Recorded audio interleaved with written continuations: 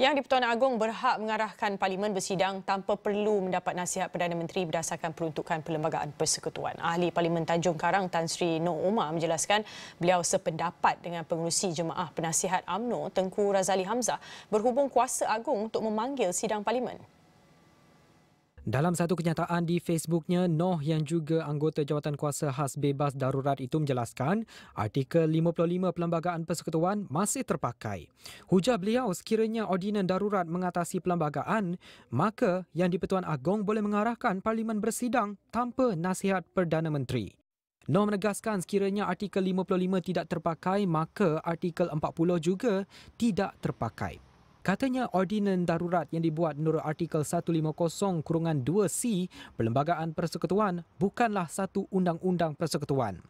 Beliau juga menjelaskan pada menjalankan fungsi yang di-Pertuan Agong di bawah ordinan darurat, yang di-Pertuan Agong tidak tertakluk di bawah artikel 40 untuk bertindak menurut nasihat Kabinet.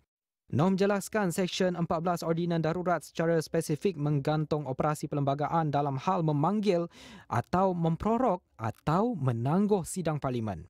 Menurut Noh, kuasa itu diletakkan kepada Yang di-Pertuan Agong dan dalam menjalankan fungsi di bawah Seksyen 14 Ordinan Darurat, Yang di-Pertuan Agong boleh bertindak menurut budi bicaranya tanpa tertakluk kepada nasihat Kabinet.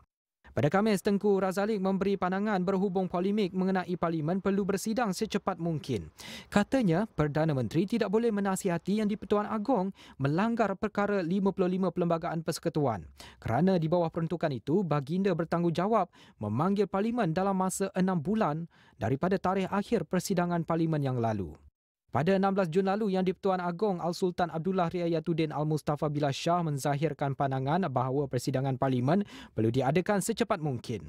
Datuk Pengelola Bijaya Diraja Istana Negara Datuk Indra Ahmad Fadil Samsudin berkata, Seri Paduka Baginda bertitah ini bagi membolehkan ordinan-ordinan darurat dan pelan pemulihan negara dapat dibahaskan oleh ahli-ahli Dewan Rakyat.